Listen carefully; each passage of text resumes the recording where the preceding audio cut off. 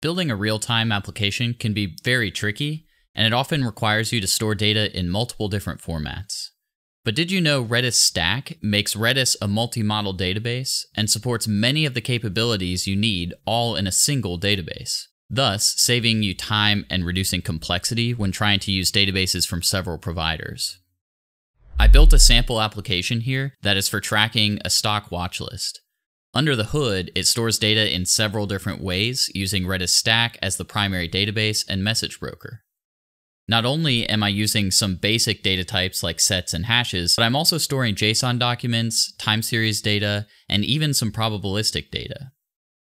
I'm also using PubSub to communicate information between a few different microservices in real time.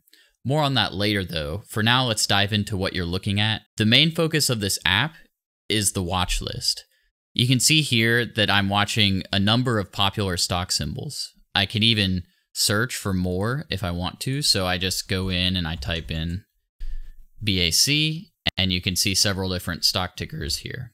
And I can add those to my watch list if I need to just by clicking on them. I can also remove them if I want to from here. And on the right hand side of this card, you can see the real time trading information. So you'll see the latest trade from each stock. On the right hand side of the page, you'll see this card called Trending Stocks, which displays a list of most frequently traded stocks in my watch list over the last minute. Every minute it resets and keeps track of the number of trades that happen within that minute. The bottom of the page shows information based on what stock you select in your watch list. So you can click on different symbols in the watch list to change the information that's displayed. The chart is updated in real time using the Alpaca API. The number in the top left of the chart shows the latest trade price, as well as the delta between the latest trade and the previous minute closing price.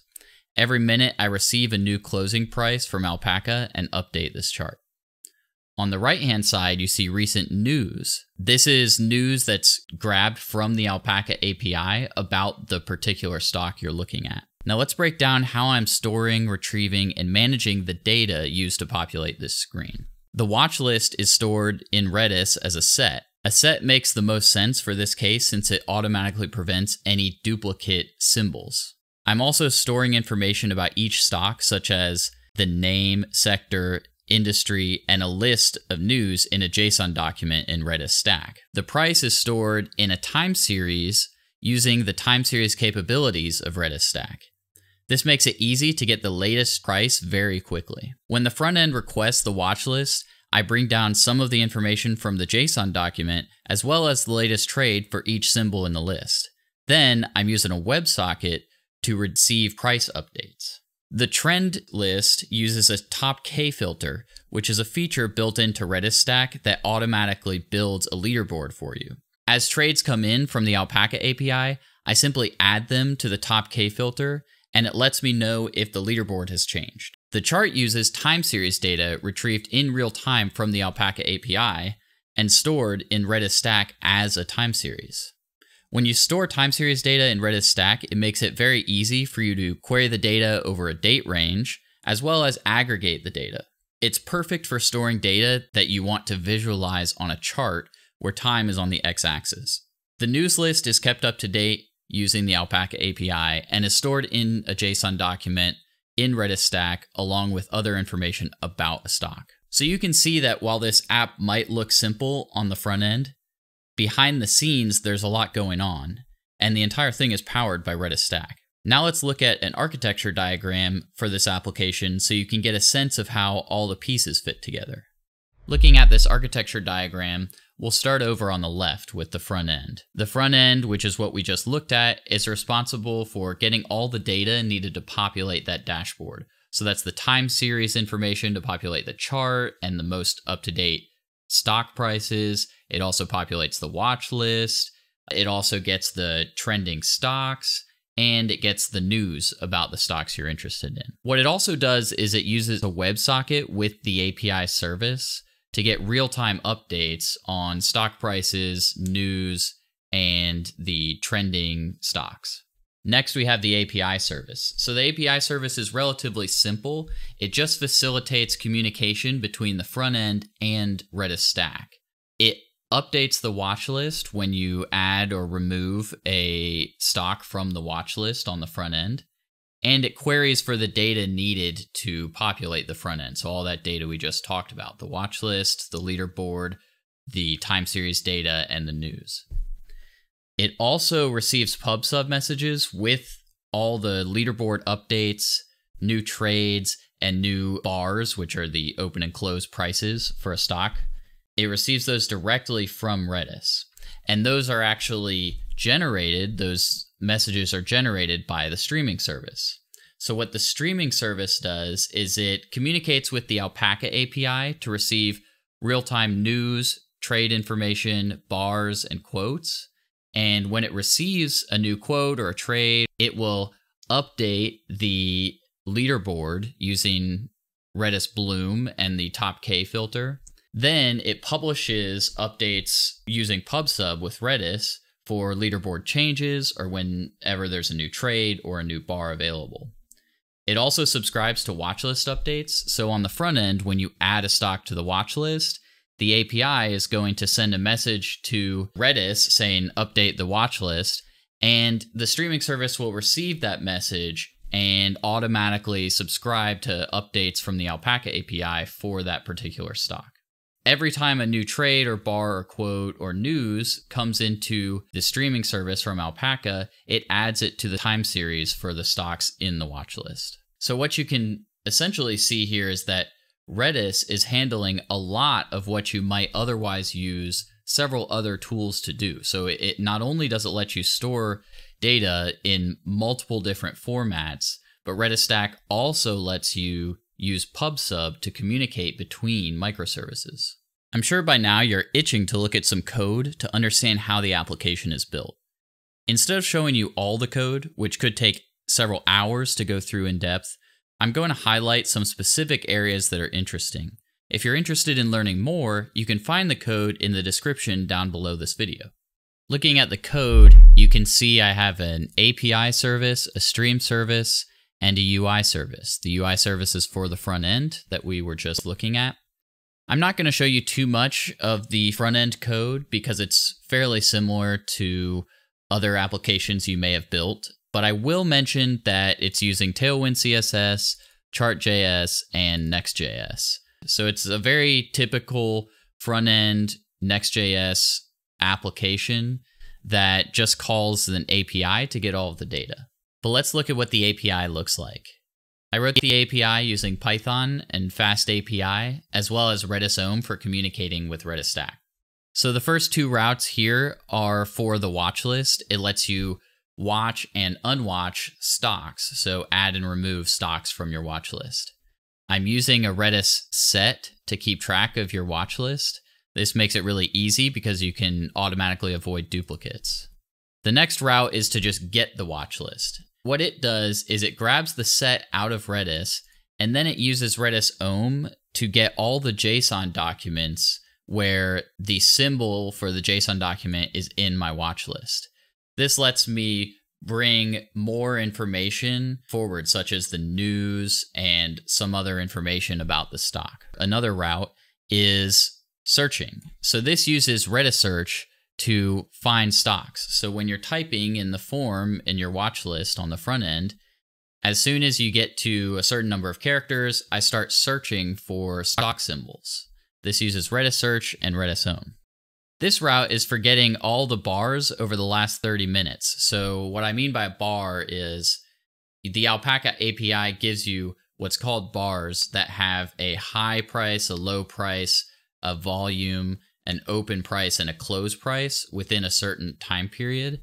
So, I'm looking at the last 30 minutes of bars. And this route just simply you provide a stock symbol and it returns the bars for you. The next route gives you an individual trade, so it will give you the latest trade for a particular symbol and the price of that trade. Both of these routes are using Redis time series, which is part of Redis stack, and it stores time series data so that you can easily query it over a range, kind of like we're doing here, or get the latest value, which is what we're doing here. This is the trending route, so this will give us the list of trending stocks. Remember, those stocks are trending based on the trading frequency. So all this does is looks at the top K filter and asks it to give us the list. This is using Redis Bloom, which is part of Redis Stack. Now, the next few things might look like routes, but they're actually WebSockets. So I have a trending stock WebSocket here where the front end can say, hey, give me all updates about trending stocks. And this will just listen to Redis Stack for messages about the trending stocks and automatically inform you that there's an updated trending list. This next one is similar, but for trades, so it lets you know whenever there's a new trade. And then the last one is for bars, so it will let you know when there's new bars.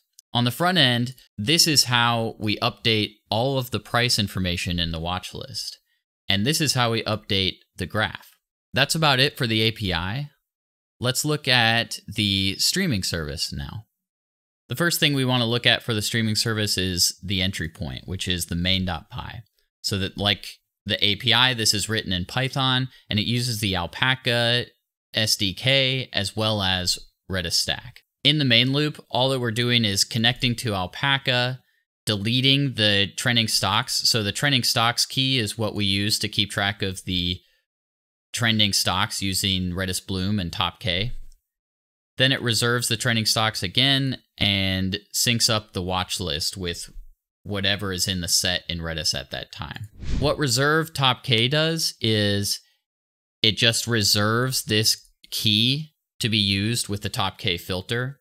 And we're saying keep track of the 12 most frequently traded stocks. And then we also set an expiration of this key to 60 seconds. The reason for this is every 60 seconds, we rebuild the trending stock list. So on the front end, every 60 seconds, you can see, okay, what stocks are being actively traded. So this is where we're using PubSub to understand when the trending stocks key has expired. And whenever it's expired, we re reserve it and start rebuilding the list. We're also listening to the watch list. So if you recall in the API, on the front end, you can add something to your watch list or remove it. When you do that, the API simply updates the set within Redis. Well, here we're going to be listening to that watch list key space, and whenever it updates, we will sync it. So let's dive into what that looks like here. When we sync the watch list, we're basically getting the watch list, doing a set comparison, and unsubscribing from anything we need to unsubscribe from, and subscribing to whatever we need to subscribe to. The rest of this is all Alpaca related. So we call subscribe trades. These are how we listen to the Alpaca API in real time and get trades as well as bars. We can also initialize a stock if we need to. And what this will do is it will give us historical trades and historical bars about the stock. And it'll also create the time series keys that we need in Redis Stack. So here it's creating all the time series with all of the trades over the last whatever time period we decided, which I think I decided the time period was going to be the last 30 minutes or something. And that's about it in here. The next piece of this is what happens as incoming trades and incoming bars come in. As incoming trades come in, we add the trade to our time series, and then we also add it to our top K. And then we publish an update saying, okay, the top we've updated the top K. So there are, is a new trade in the top K. That will tell our API to update the top K list on the front end. And if you remember, there's a WebSocket that the front end can listen to to get updates to those trending stocks. So, message flow here is an incoming trade comes from Alpaca. Then we publish a message saying, okay, we've updated the trades and updated the trending stocks list. Then the API receives that message and it will notify the front end if there are any changes needed. And I've just shown you just a little sneak peek of all the code that is in here. I wanted to show you some specific things to have you get a sense of how all of the pieces fit together within this application. But the next thing I want to show you is how this looks in Redis Insight. In Redis Insight, you can see how we have a bunch of JSON documents that represent each stock. So I pulled a bunch of data from NASDAQ directly to populate all of this information. let's look at the watch list. So the watch list is a set and you can see it has all the items that are on that were represented on our watch list on the front end. So this is how we're able to keep track of what we're watching and add and remove things from this set when we either don't want to watch them anymore or if, if we want to watch a new stock. Now let's look at something on our watch list. So like Apple.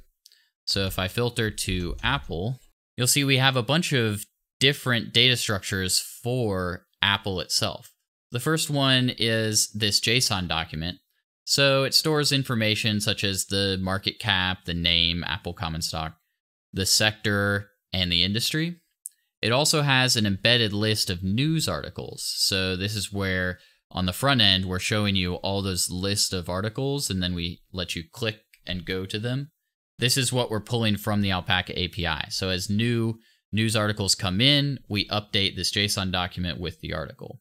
We're also storing a bunch of different time series related to quotes, trades, and bars. You can't see the data in this, but let's look at what it looks like to get the latest trade from Apple.